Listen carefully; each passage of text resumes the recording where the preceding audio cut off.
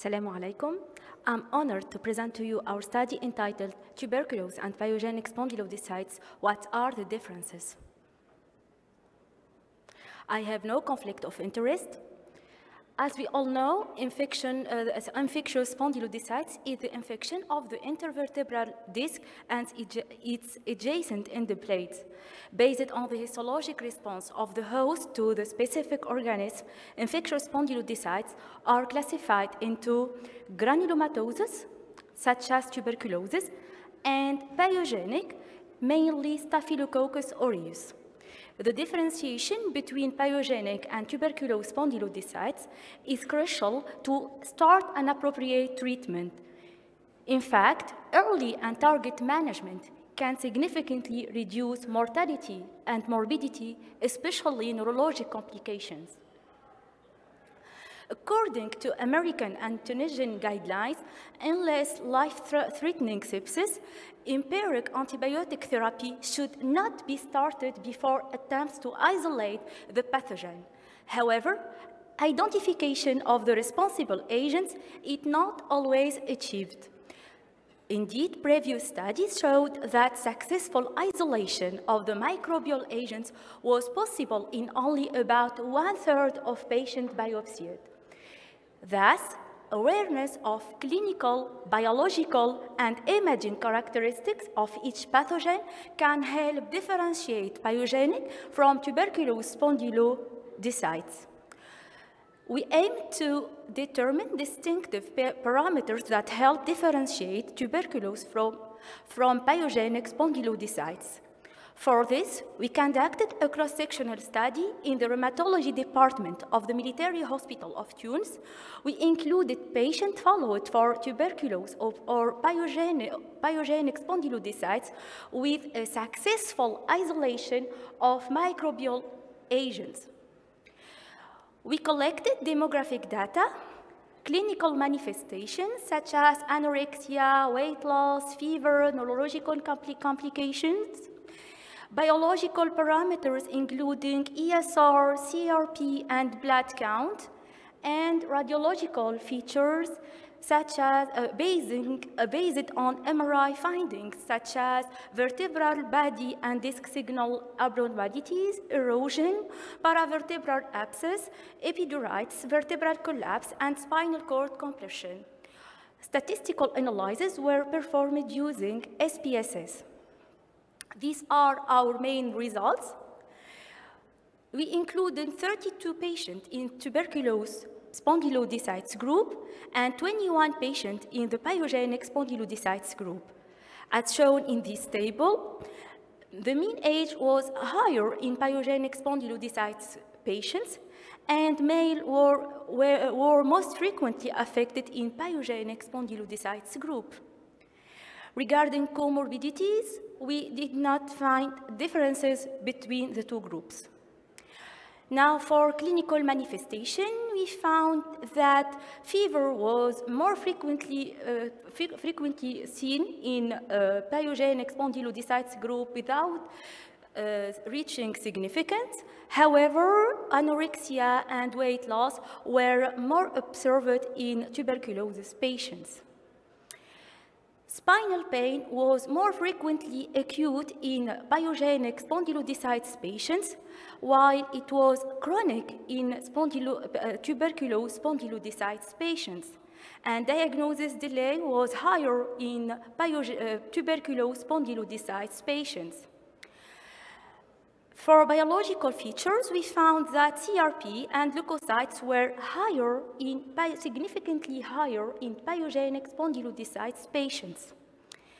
And, for, eh, and among patients with pyogenic spondylodiscites, the pathogen entry portals were cutaneous in 30 in uh, 33% of cases and indeterminate in 48% of cases.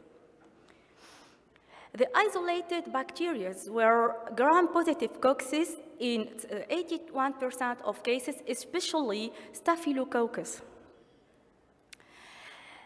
Now, regarding MRI features, all patients had disc and adjacent end plates edema, paravertebral abscess, uh, epidurites, vertebral collapse, and vertebral body signal abnormalities were more, more frequently, frequently seen in tuberculous spondylodiscites patients than pyogenic spondylodiscites ones without reaching significance and the thoracic spine location were more, more frequently seen in tuberculous spondylodiscitis patients.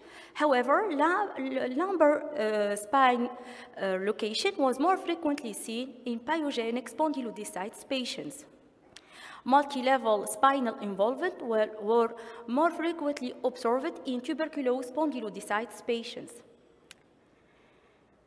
To summarize, our patients showed that patients with tuberculous spondylodiscitis uh, spondylodiscites were younger than those with pyogenic spondylodiscites. Fever was more frequent in, spondyl in pyogenic spondylodiscites. However, loss of, weight, loss of weight and anorexia were common in tuberculous spondylodiscitis patients. Clinical onset was acute and loud in pyogenic spondylodiscitis patients, but chronic and insidious in tuberculous spondylodiscitis patients.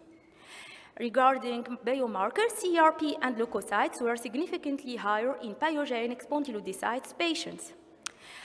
As, we, uh, as demonstrated by this uh, table, our findings were in line with literature data. Now, let's uh, now uh, let take a look at the MRI findings of our patients.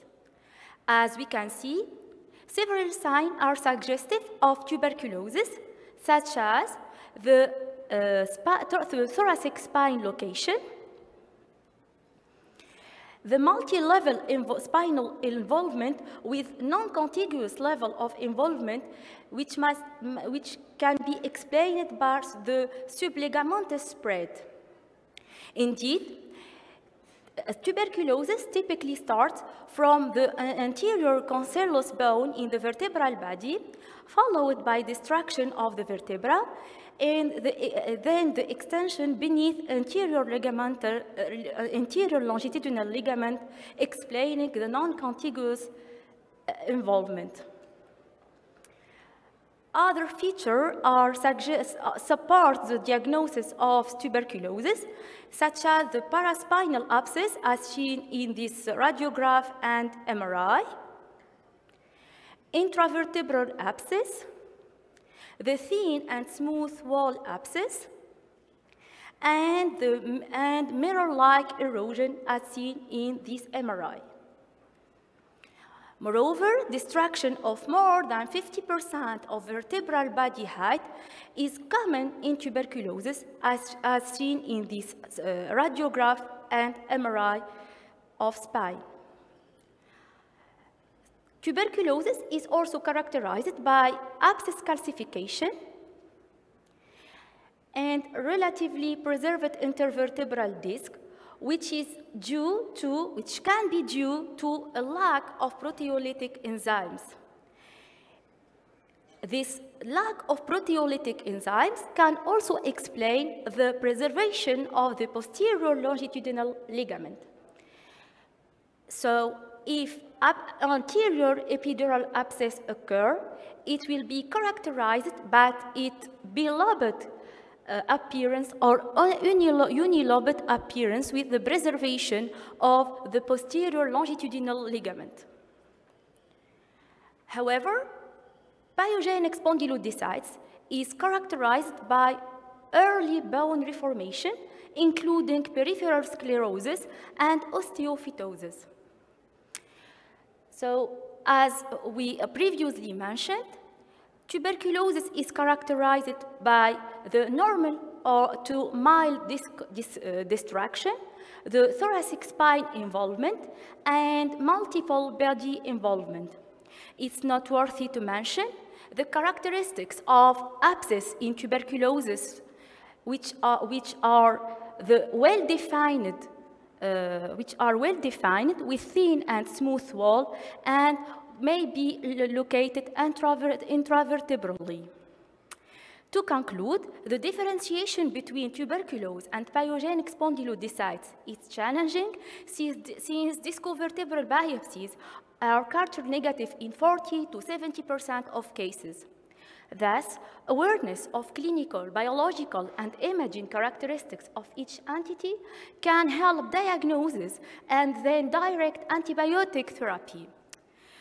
We, saw, we had so far discussed the differences between tuberculosis and pyogenic spondylodiscites.